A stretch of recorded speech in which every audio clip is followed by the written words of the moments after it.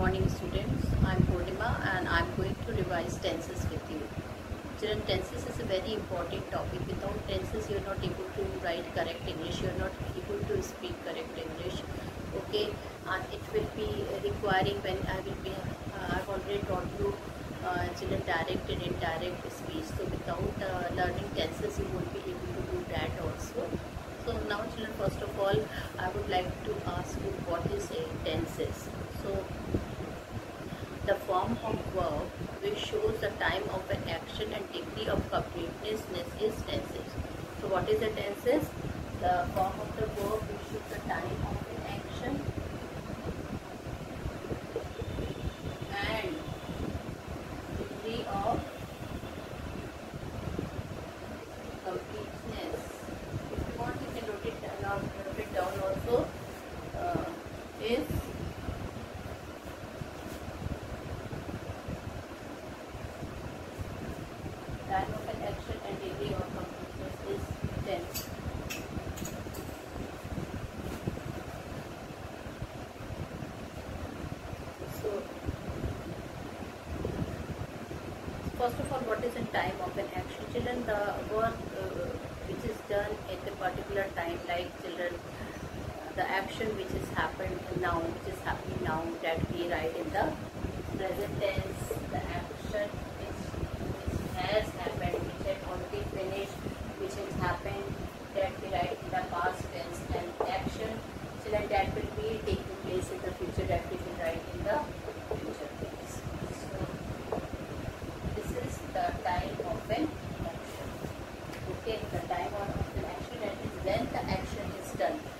done in the present time or in the past time or in the future time. So that is the uh, time of an action. Now children, what is degree of completeness of an action that you have to understand.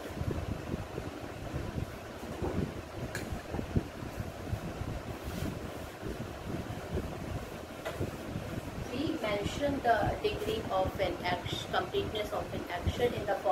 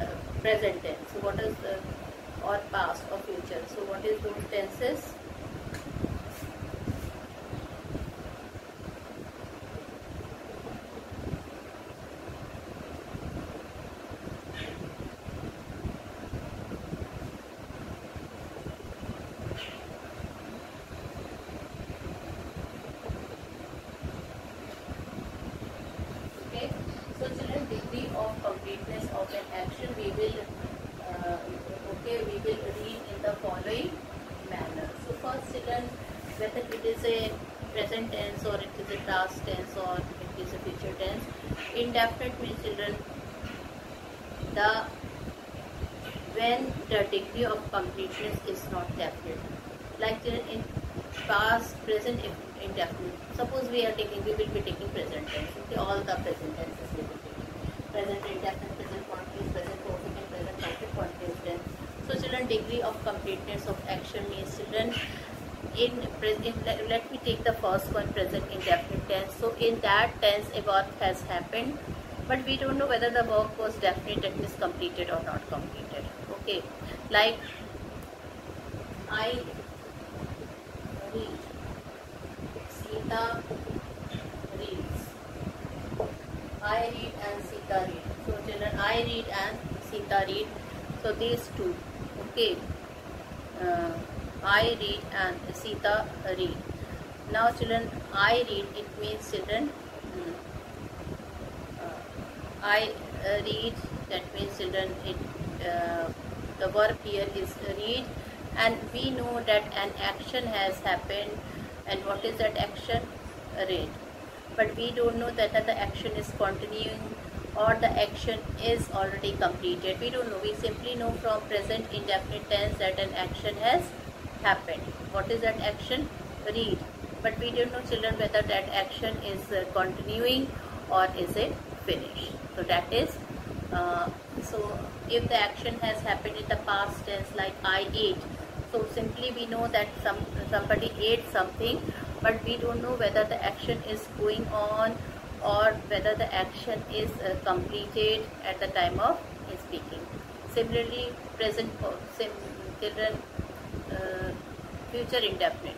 That means he will do he will write. We don't know whether the writing was completed or was still going on at the time of speaking. So children, this is the meaning of indefinite tenses. In all the uh, indefinite tenses, we don't know whether uh, what was happening. That is whether the work was completed or was it continued. Okay. So in indefinite tenses, what you will write? Okay we don't know whether the work is completed. I am talking about the present tense. Let's assume that we will be taking present tense okay. So like I read and Sita reads, we only know that reading has taken place but we don't know whether the reading is completed or not completed. Now children, we will be, I will be taking, telling you about continuous. Okay. Now in continuous tense I am reading. They are reading. Sita is.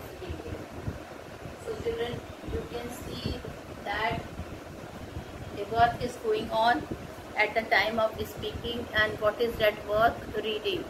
So we know that that work is continued at the time of speaking. That work is not finished. I am teaching. That means in present continuous. That means I am teaching now. That work is not completed. That work is not completed. Okay. So, uh, children, in continuous tense, whether it is uh, present continuous or past continuous or future future continuous, we will only come to know that a work is con uh, continued that work is continued, that work is uh, completed or not completed, we will not know about that one. Okay, so uh, let's see what happened next. Okay, so in continuous tense, a work is there, is it continued or is it not continued? Okay, that we have to see.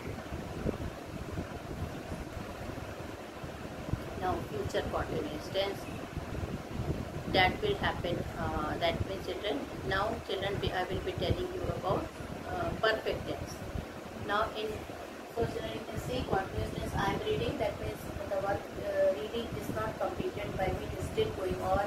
It is still progressive it is still in progress. They are reading that means the reading is still not complete, completed it is still going on. Sita is reading. So here also in this case children the work is continuous it is not completed. Okay. Now I will be talking you about perfect tense. I will be telling you about perfect tense. So they have completed their project work. They have completed their project work. Okay, the work is completed. The work is completed here okay? And um, they have completed their project work. Here the work is completed. And it will not be completed by now. That work is completed. And that work is children that work we have done that is finished at the time of speaking okay? So in present tense what we do that work is completed it is finished by now. Now present perfect continuous tense that means children we have taken a work, a work has started in the past and it is still continuing. The work has started in the past and it is still continuing. Now let me tell you something about perfect tense one more thing. Children with a simple uh, with the third person singular we write he, she, it, or with any name, what do we, we use? We use has. We write has completed. And we always use the third form of the verb. Okay, so children please remember in perfect tenses with third person always write uh, has okay he has she has it has ravi has okay the bird has okay children we always add third person of the verb has plus v3 have plus v3 in past perfect had plus v3 in future perfect had plus will have plus v3 will has plus v3 third form the verb. Remember children only in passive voice on and in um, this one in passive voice and children here in uh, this we will always have what? We will always have third form of the verb. So uh, now this is uh, one more uh, children degree of completeness is there and that is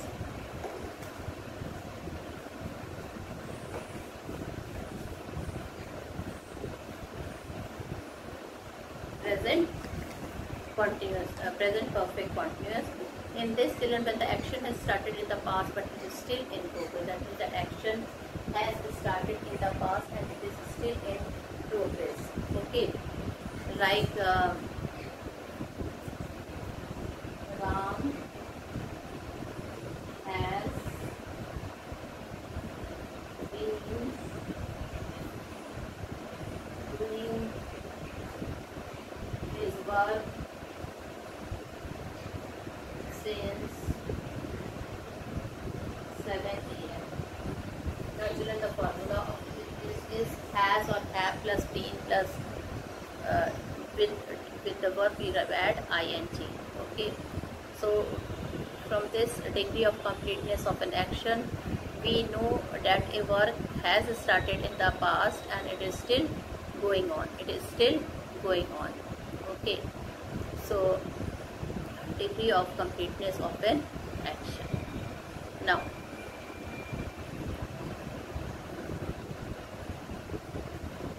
uh, one thing is uh, one more thing is there children uh, that uh,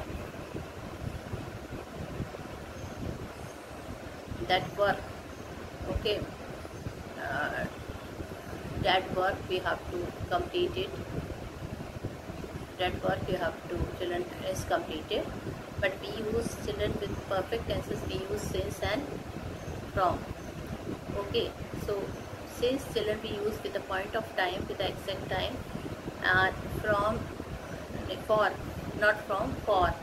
It is used for a period of time. He has been living in this house for 19 years. That 19 years is a period of time. He has been singing practicing singing since 8 o'clock. That is point of time. That means the exact point of time you are having. Okay. So i have uh, told you children what is the tenses? Tenses is the degree of completeness of time. Okay and tenses what is tenses tenses is degree of completeness of time. And uh, what is uh, children? And it is uh, the uh, it is time of an action. That means at what time the work has been done or the work was done in present time or past time or future time. Okay and degree of completeness of an action when when the action when the action was there like in simple uh, in present indefinite we only know that an action has happened but whether that action was completed or not we don't know. Okay then uh, in this tense continuous we know that the action is uh, completed at the time of speaking. The action is complete uh, no is going on at the time of speaking in present perfect tense the action is completed okay at the time of the speaking or is going to complete. Both the cases we can consider. The action is happening or is completed at the time of happening. Uh, or is about to complete. In present uh, perfect continuous tense the action has started in the past but it is still going on. It is still going on children this is degree of completeness of an action and this is followed in all the tenses present perfect and future tenses. Okay. So now children i hope it is clear to you that what really is the meaning of tense. Okay what really is the meaning of tense? Uh, now the tense uh, what really is the meaning of tense? And children this tense is uh,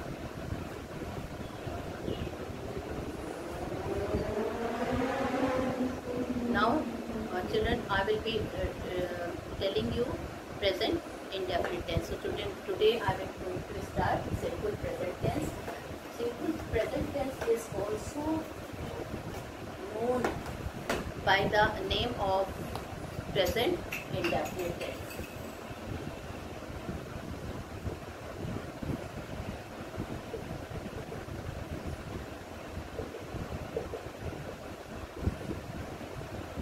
Okay, simple present tense is also known as present indefinite tense. Okay. Uh, so, uh, children, simple present and present indefinite tense is same thing. And children, you you have to learn two things here. You have to learn uh, uses and sentence structure. we have to learn uses of the simple present indefinite tense and the structure. So first of all children, what are children where uh, this tense is uh, used? Okay, so the uses of this tense is to express a habitual action. Children, what, whatever habitual action we do, whatever habitual action we do, okay, uh, that is done in the present indefinite tense like he goes for a morning walk okay so this morning walk children generally people doesn't do one or two days they do regularly. So this is a habitual action. My mother reads newspaper in the morning. She reads every day in the morning. So this is habitual action. My father drinks coffee in the morning. Habitual action.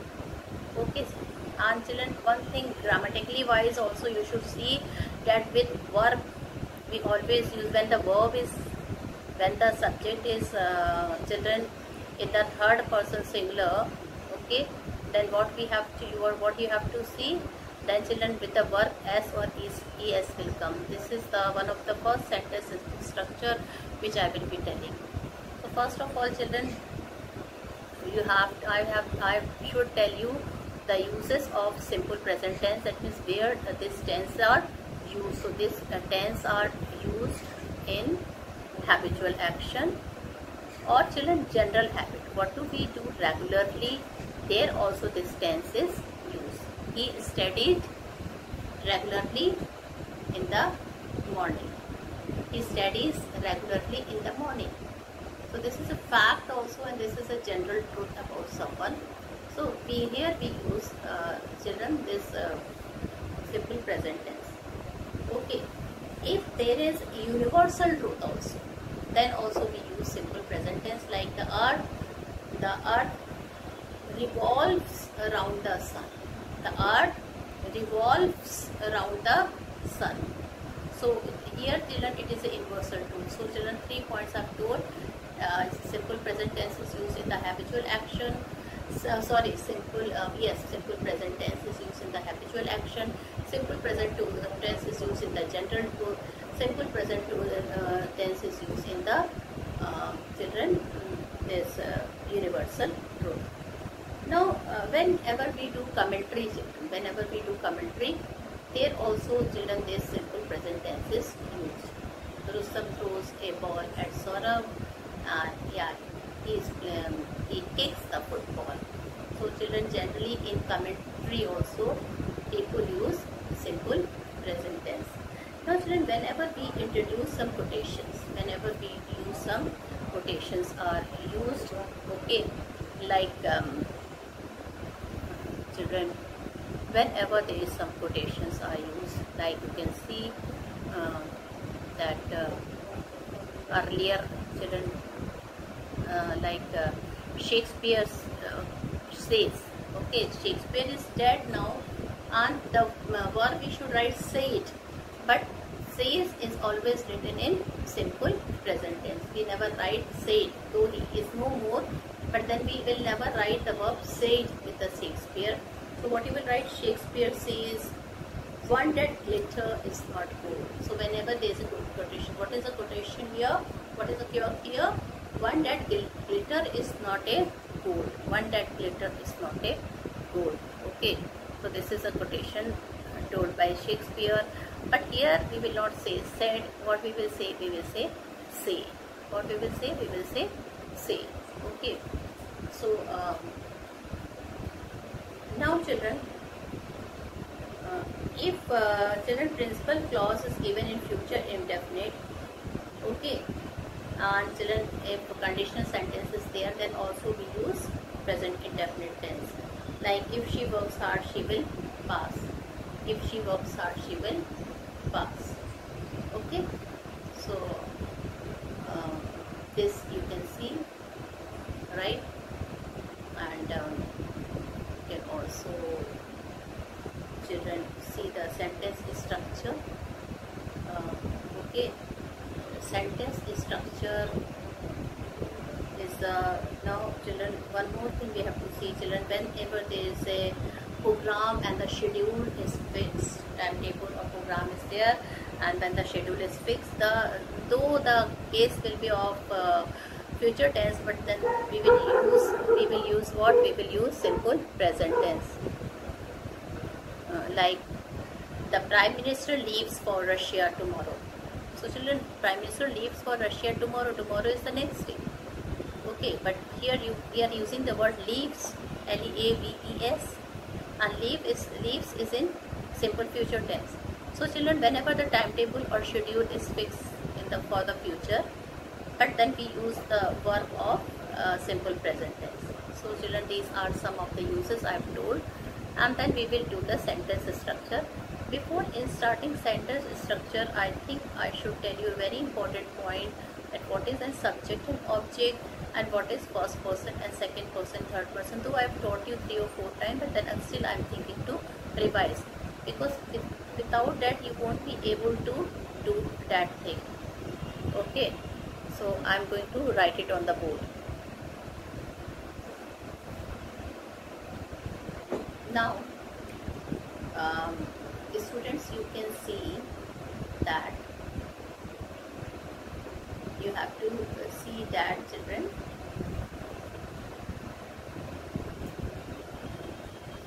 like he sings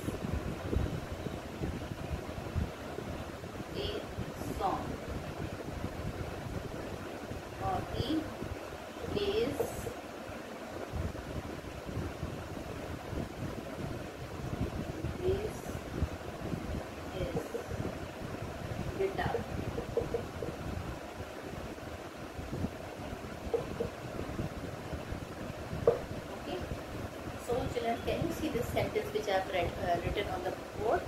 He plays the guitar. Now what is the verb here? So verb here is plays.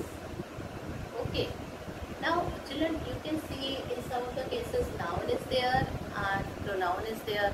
So you have to identify the nouns and the pronouns. So here you can see children this is a pronoun. This is a verb and this is a noun. Can you see it? All of you? What I have written on the board? I have written he plays the guitar. He is a pronoun here. Plays is a verb here and guitar is the noun. He plays the guitar. Okay.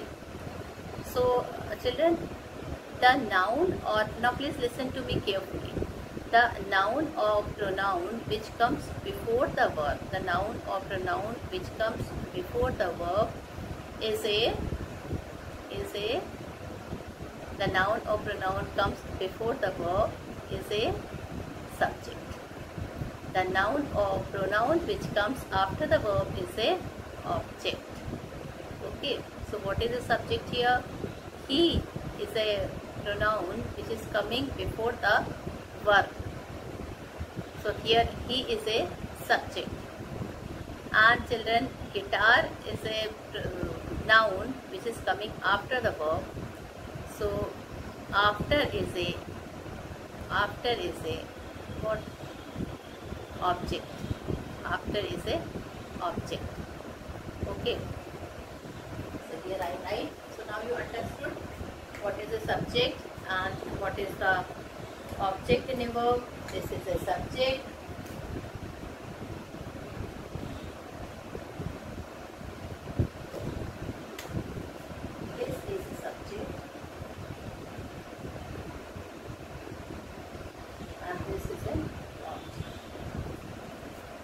subject and this is the object.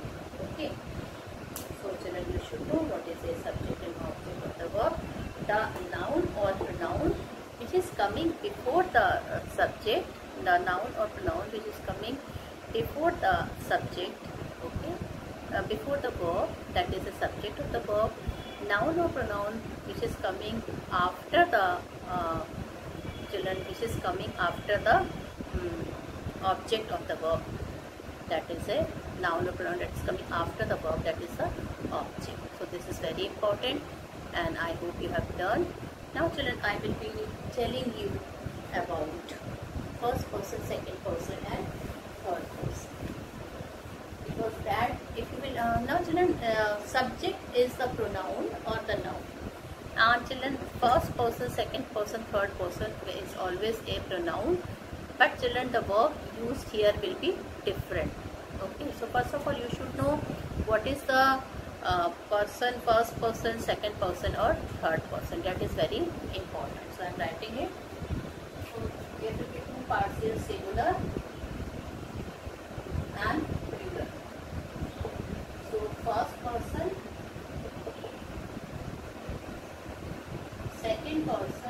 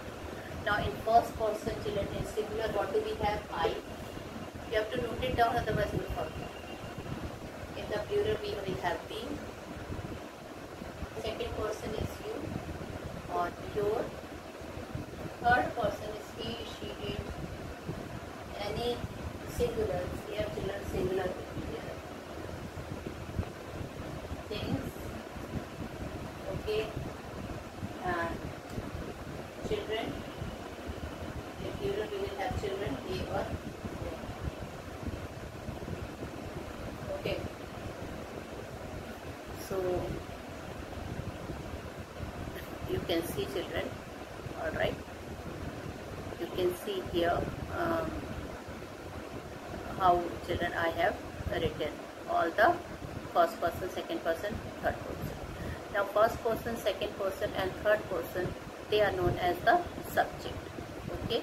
And subject always does does something. Either something is subject does something or something is done to the subject. Okay? So I uh, is uh, first person singular, we is first person plural, you is second person singular, you oblique your is second person plural, he, she, it or any name, any name of a person, Rahul, Sandhya, any name, okay, that will be a third person singular and then plural is children or they or them. Children, please remember whatever changes will be there, it will be there in the third person singular. It will be there in the third person singular. Okay, whatever changes we will have, it will be there in the third person singular. Like with the verb, we always add s or es. Like he tells the story. Ravi tells the story. But if it is plural, we will not have change in the verb. Like children tell the story we will not add s or es if third person singular plural is there children tell the story but if you will write the first person uh, singular number if we will take then we will always use at any cost s and es will be added with the verb like he tells the story. Children tells the story okay? So tomorrow we will do the sentence structure and lot of other things but before that doing children you should know what is first person second person third person and you should know what is subject and object okay so with this i end my video here. Thank you and have a nice day ahead